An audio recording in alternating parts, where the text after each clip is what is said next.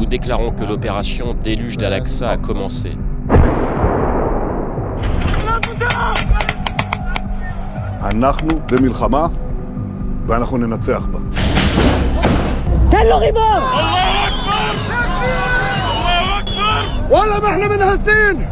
Civilians must be protected and also never use the shields.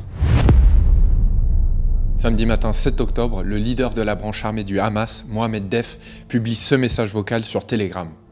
Nous déclarons qu'avec l'aide d'Allah et son courage, que la première frappe de l'opération Déluge d'Al-Aqsa, qui a visé les positions, les aéroports et les fortifications militaires de l'ennemi au cours des 20 premières minutes, a dépassé les 5000 missiles et obus. Dans cette vidéo, je vais essayer de vous raconter comment le Hamas et sa branche armée, les brigades Al-Qassam, ont attaqué la bordure qui sépare la bande de Gaza avec Israël et se sont infiltrés dans les territoires autour pour massacrer des civils. Il faut savoir que les brigades Al-Qassam sont depuis 2001 sur la liste des organisations terroristes de l'Union européenne. Je vais essayer aussi de vous expliquer comment Tsahal, l'armée israélienne, va répondre à cette offensive en bombardant comme jamais auparavant Gaza et en tuant elle aussi des centaines de civils. Si vous voulez avoir du contexte sur le conflit israélo-palestinien avant de regarder cette vidéo, je vous mets quelques liens en description. Tout au long de la journée, avec les images de téléphone diffusées sur internet par les habitants, mais aussi avec les caméras de vidéosurveillance et les groupes Telegram palestiniens et israéliens, on va pouvoir quasiment suivre en temps réel ce qui est en train de se passer. La majorité des vidéos que vous allez voir se déroulent dans la matinée de ce samedi 7 octobre 2023. Ça raconte le temps qu'ont eu les membres du Hamas pour commettre le plus d'exactions possible avant que les autorités israéliennes ne mettent en place une contre-offensive pour repousser ces attaques. Je vous préviens, il y a évidemment beaucoup de vidéos violentes qui peuvent heurter la sensibilité de certaines personnes et j'ai essayé de faire le format le plus sobre possible. Je précise aussi que certains floutages n'ont pas été faits par mon monteur, il y en a beaucoup qui ont été faits par le Hamas ou Tsahal avant qu'il diffuse les images.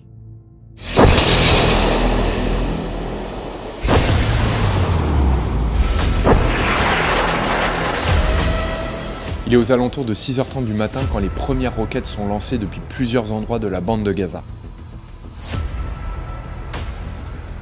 C'est le début d'une attaque sur la frontière qui va durer plusieurs heures, extrêmement bien coordonnée et d'une ampleur sans précédent. Très vite, les combattants du Hamas neutralisent des postes de défense avec des drones armés d'engins explosifs.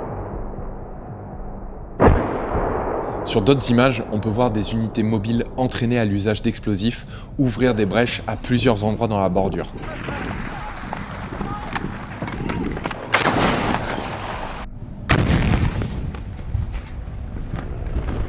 Il est 6h40 et des soldats du Hamas pénètrent sur le territoire d'Israël à pied, en pick-up ou à moto.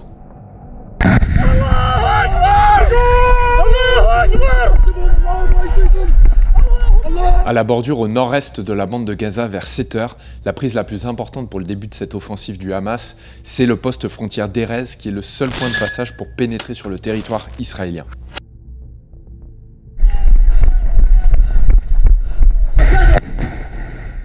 À l'intérieur de ce bâtiment fortifié, il y a des militaires, mais aussi des civils qui s'occupent de l'administration pour les liaisons entre les deux territoires. Des combats ont lieu et les soldats du Hamas tuent plusieurs personnes et font des prisonniers. La prise de ce passage montre le niveau de préparation du Hamas, mais elle montre aussi les failles du système de sécurité et de renseignement de l'armée israélienne.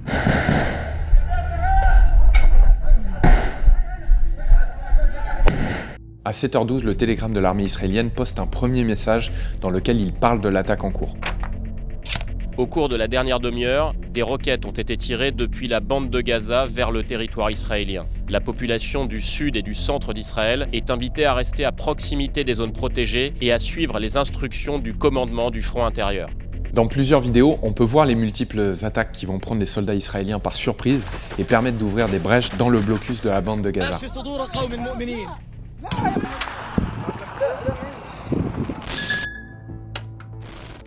À cet endroit de la bordure de Gaza, les membres du Hamas détruisent un tank avec un drone armé d'explosifs. À 15 km au sud de cette position, toujours près de la bordure, les soldats du Hamas mettent le feu à un autre char de l'armée israélienne.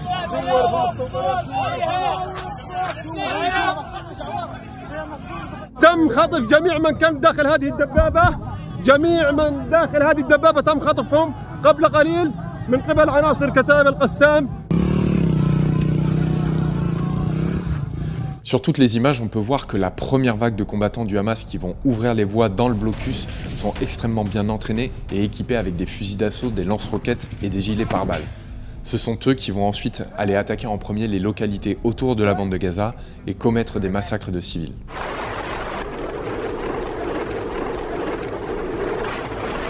Les images sont postées un peu plus tard des soldats du Hamas qui s'échappent aussi du blocus par la voie des airs, comme ici sur cette vidéo, alors que des roquettes sont tirées. Ils utilisent des paramoteurs, c'est des parapentes avec un moteur à hélice. Ils arrivent aussi par la mer grâce à des bateaux à moteur, notamment au niveau de la plage de Zikim au nord de Gaza. Certains sont détruits par l'armée israélienne.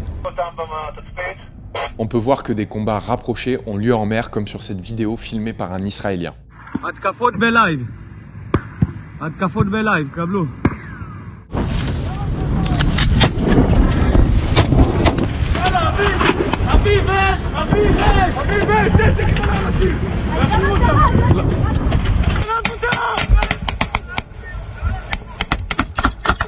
מי זה הסירה הזאתי? אחי, זה נראה לי מחבלים, באמא שלי.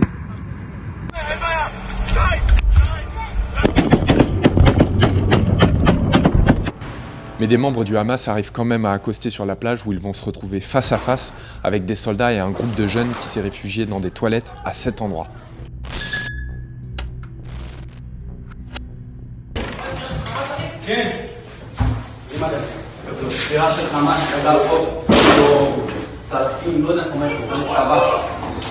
Quelques heures plus tard sur Telegram, des membres du Hamas ont posté une vidéo montrant le corps de leur victime. Il n'y a aucun survivant. Dans la bande de Gaza, un bulldozer a été ramené pour détruire les barbelés qui délimitent le blocus. Après s'être emparé de plusieurs checkpoints militaires, on peut voir des soldats du Hamas au volant de véhicules et avec des équipements israéliens.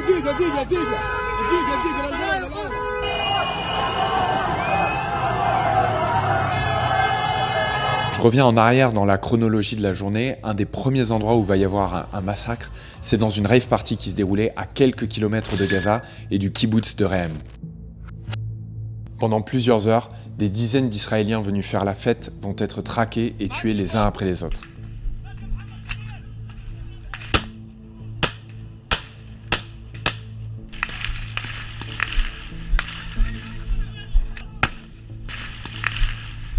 270 personnes ont été assassinées au festival. Si vous voulez en savoir plus, Le Monde a fait une vidéo qui raconte bien ce qui s'est passé. Je vous mets un lien en description. Pendant la matinée, les membres du Hamas vont pénétrer dans plusieurs kibbutz, comme celui de Be'eri, qui est proche de la bande de Gaza. Sur cette vidéo, il est presque 7h du matin, on peut voir deux soldats du Hamas s'approcher de l'entrée de Be'eri et tendre une embuscade à ce qui semble être des habitants du village.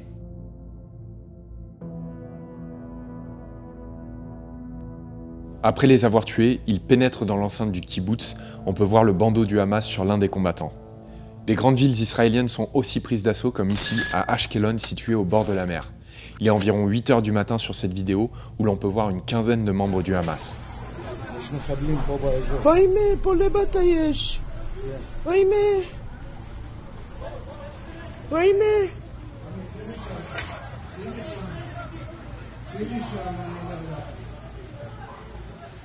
Vers 10h dans BRI, grâce aux mêmes caméras de vidéosurveillance à l'entrée, on peut voir deux membres du Hamas sortir les corps de la voiture attaquée quelques heures plus tôt.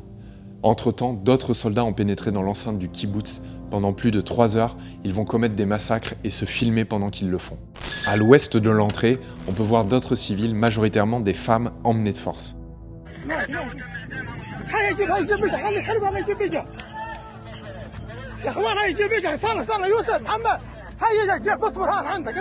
Dans une autre vidéo du Hamas, on peut voir les corps des mêmes personnes après qu'elles aient été abattues. Selon un bilan provisoire des secouristes israéliens, plus de 100 personnes ont été tuées à Be'eri. Sur d'autres vidéos, on peut voir les soldats du Hamas se déplacer dans le kibbutz de Kfar Aza où ils sont nombreux.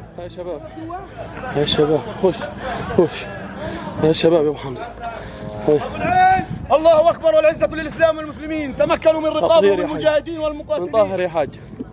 هاي ابو حمزه الشباب. تطهير وتأمين. الله يطول. الله أكبر. الله أكبر.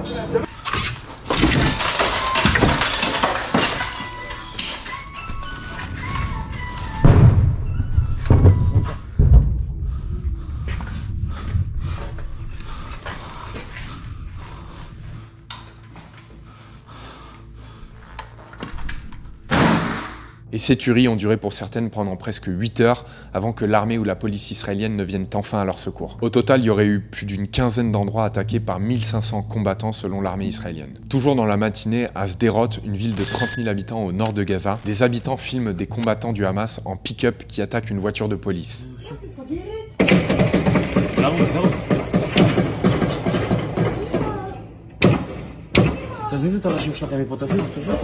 À l'ouest de cette position, les membres du Hamas prennent d'assaut le poste de police de la ville.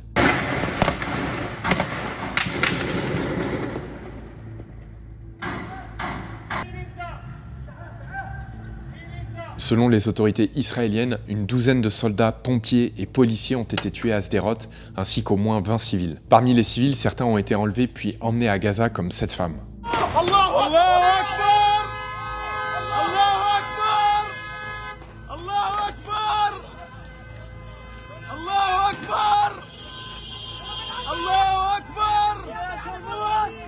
À ce moment-là, dans cette vidéo, elle se trouve à cet endroit de Gaza vers 10h du matin.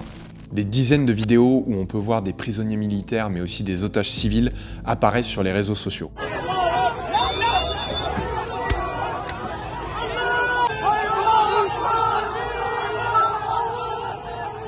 Parmi les personnes retenues en otage, il y a des adultes, mais aussi des enfants et des personnes âgées, comme cette grand-mère de 85 ans qui aurait été enlevée à Kfar Aza.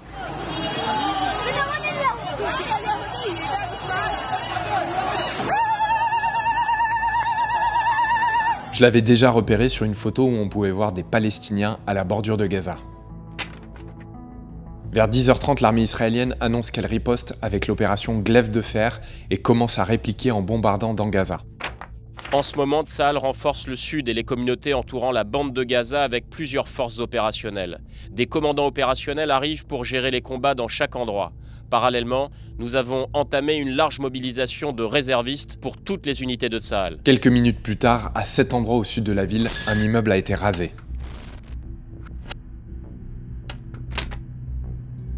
À 11h35, le Premier ministre israélien Benjamin Netanyahou s'exprime pour la première fois dans une vidéo publiée sur Twitter et déclare qu'Israël est en guerre.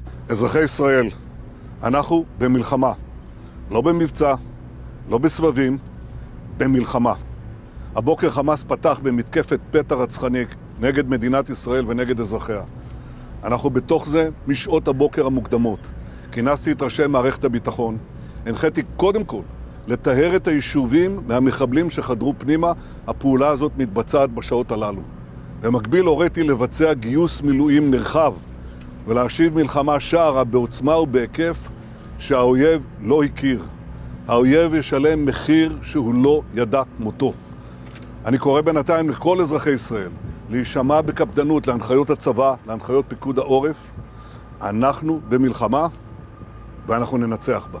Pendant ce temps-là, des vidéos des habitants des localités israéliennes assiégées affluent sur les réseaux sociaux et montrent des soldats du Hamas qui continuent de tuer des civils.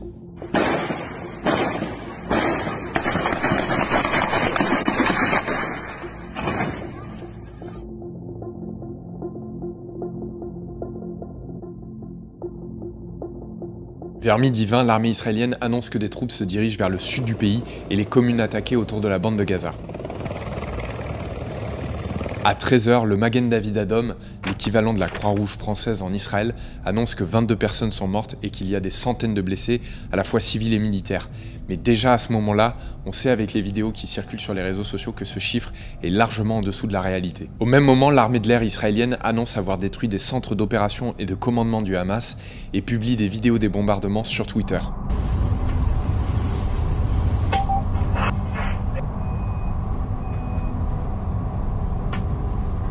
En début d'après-midi, des Palestiniens qui se trouvaient devant la bordure de Gaza et qui n'avaient pas l'air d'être armés sont tués par des bombardements.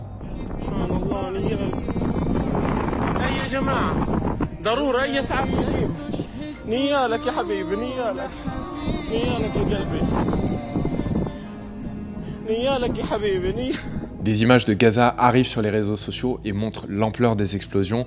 On sait en regardant ces vidéos qu'il y aura beaucoup de morts et de blessés. Les combats ont lieu toute la journée partout dans le pays comme ici. Dans une base militaire à Soufa où un commando d'élite de la marine israélienne essaie de reprendre le contrôle de la zone.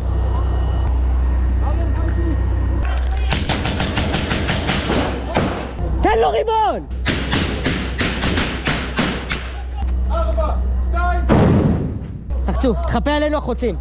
יש?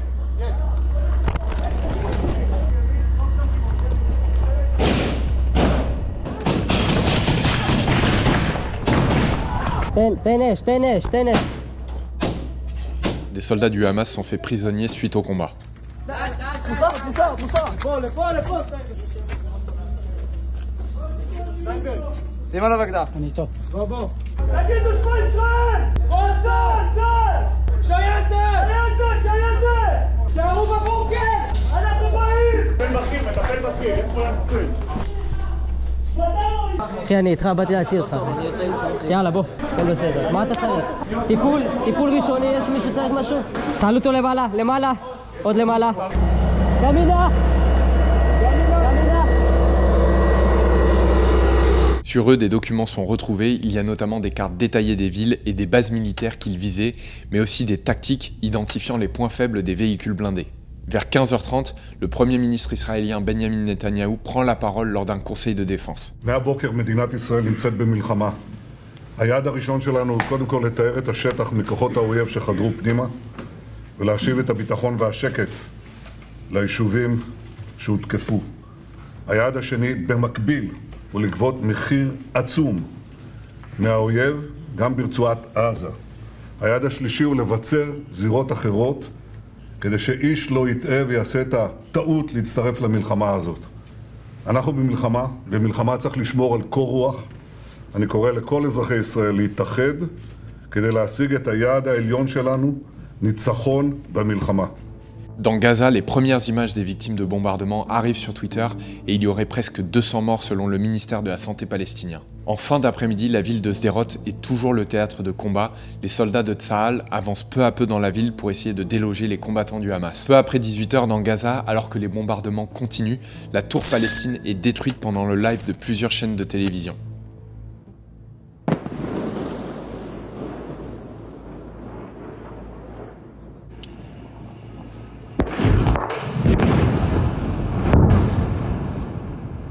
En représailles, en début de soirée, des centaines de roquettes sont envoyées depuis Gaza vers Israël.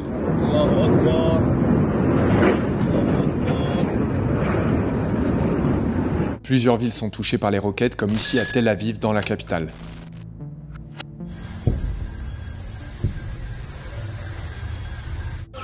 כל מי שחושב שאזעקה זה צחוק, פעם ראשונה בעיניים שלי ראיתי איך ניצלתי. À l'aéroport de Tel Aviv, les alertes résonnent et forcent les gens à se mettre au sol sur le tarmac. Un reporter américain filme la scène. We literally just got off the plane here Ben Gurion Airport. The sirens have gone off. People are taking cover. We got off the bus. People are taking cover, and you can hear the intercept missiles banging in the air. Nothing incoming here, but everyone is taking cover. They've got down. A lot of concern about what's going to happen here this night. À 21h, l'armée israélienne continue de patrouiller dans Sderot. On peut voir un tank Merkava 4 rentrer dans la ville. Au même moment, le nord de Gaza et les villes au sud sont massivement bombardées. Des images filmées dans les hôpitaux partout dans la région montrent des victimes par dizaines. Il y a beaucoup d'enfants tués comme cette famille dont l'immeuble a été rasé à Canyonis. Les combats pour traquer et venir à bout des soldats du Hamas ont duré toute la journée du dimanche et le début de la semaine. Depuis le samedi 7 octobre, l'armée israélienne bombarde comme jamais la bande de Gaza. Tous les jours, des images par dizaines affluent sur les réseaux sociaux. Les hôpitaux sont débordés et les associations humanitaires internationales appellent à l'aide.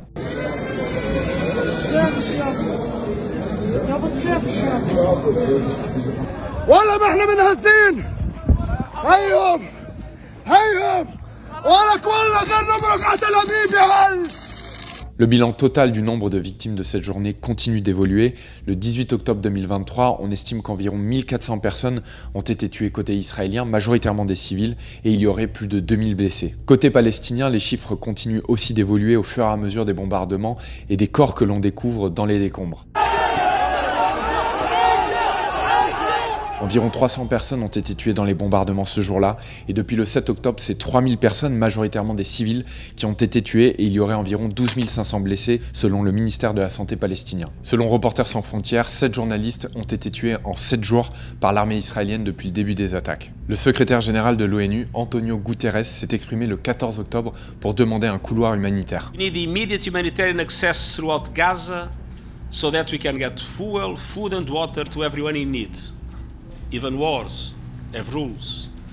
International humanitarian law and human rights law must be respected and upheld. Civilians must be protected and also never use the shields. Voilà, c'est la fin de cette vidéo. Je tenais à remercier euh, toutes les personnes qui m'ont aidé à travailler dessus. Tristan, Abdullah Edan pour les euh, traductions, Mehdi, GeoConfirmed et tous les gens qui bossent en open source pour la géolocalisation. Ils font un taf énorme pour documenter ce qui se passe sur place. Merci d'avoir suivi cette vidéo. À très vite.